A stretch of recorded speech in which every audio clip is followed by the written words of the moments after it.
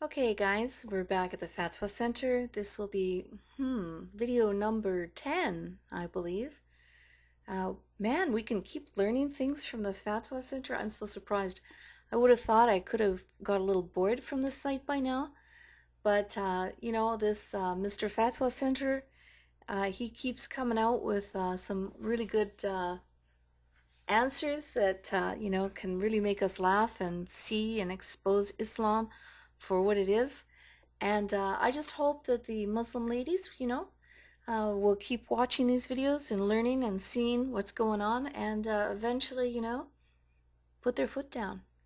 Okay, so here we go. This is a really good one. I got uh, some good chuckles out of this one. And I think Mr. Fatwa Center is, you know, he's a very, very unique man. I'm telling you, I can't, I can't uh, imagine what this guy looks like. I wish I saw his face, just to put a face to the one that speaks this way and has such arrogance. Okay, let's look at the question here. Misconceptions in Islam. You can see it's an old one. This question was asked and answered back in 2002. Here's the question. I don't mean to sound...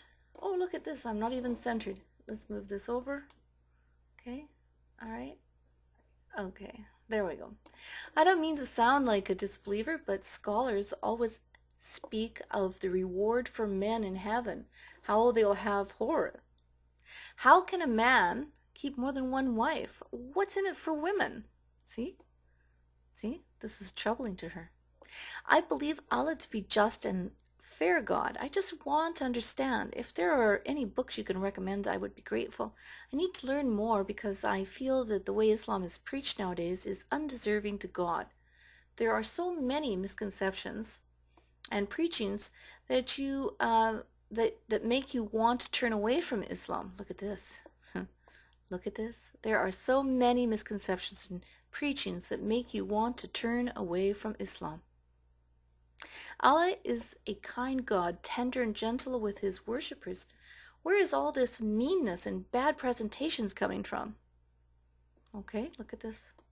So this person here, this woman, asking this question, she believes in a different Islam and she wants the scholar here at the Fatwa Center to reinforce her values as she understands them in Islam because she believes that, you know, there's a lot of misconceptions and preachings about, you know, the joys of Jannah and, and the fairness of what's going to be up there.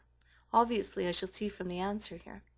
And uh, she thinks that, uh, you know, the bad, there, you know, there's bad presentations coming and everything, and she wants some clarification on them.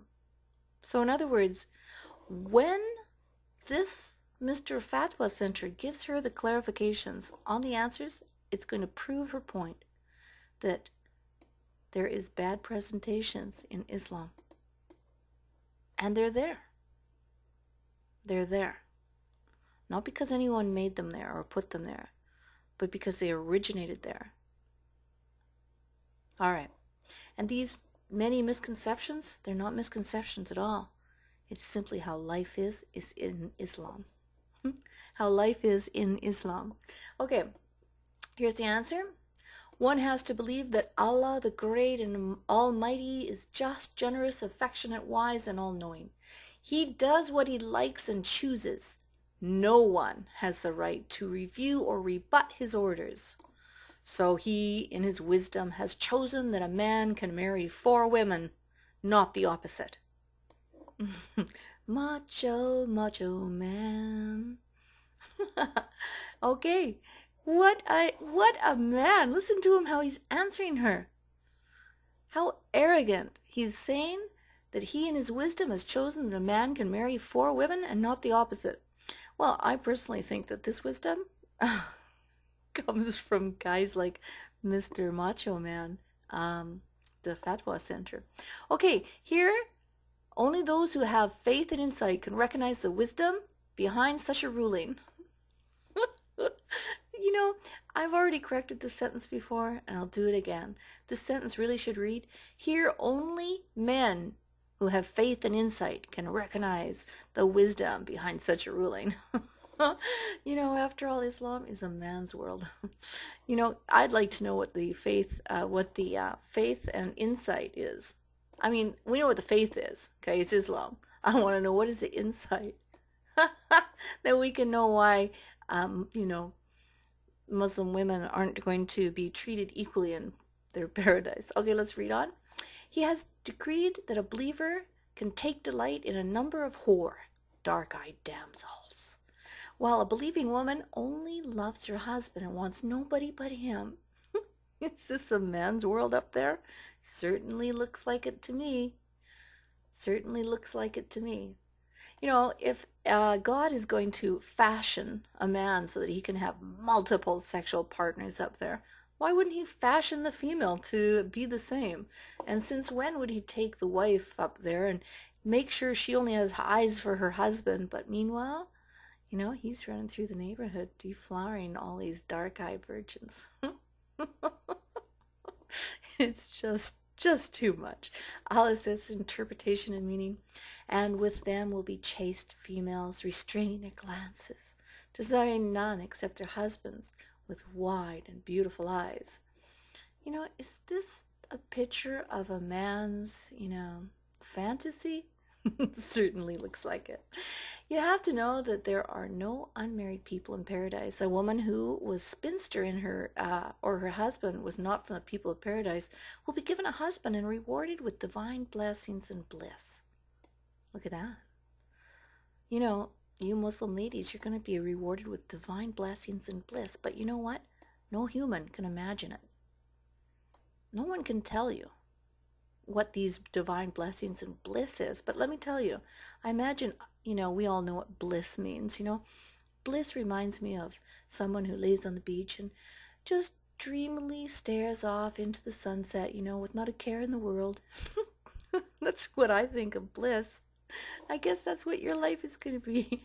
You're going to lay around staring off into the sunset, not a care in the world, you know, while your husband's having fun, man. He's going to be having a lot of hanky-panky fun, and you're just going to be staring off with bliss. You know, the thing here I like is it says, not a human being can imagine. Well, you know, this is true in Islam. You can't imagine, you know why? Because the Quran, the Hadith, you know, they don't tell you anything for women. Okay? But they sure are in great detail about what goes on for a man. Imagine Muhammad telling men that they're going to have the power of sex for a hundred, you know, as a hundred men. You know, for the men. The men are going to have this power.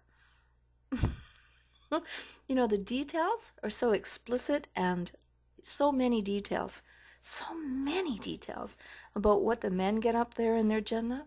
But you know what? no human can imagine what the rewards are going to be for the females because you know what? There just isn't any mentioned except the bliss. you're gonna stare off at this. You know, you're like gonna be like a zombie up there. gonna be like a zombie laying there. Oh, see, I feel so blissful.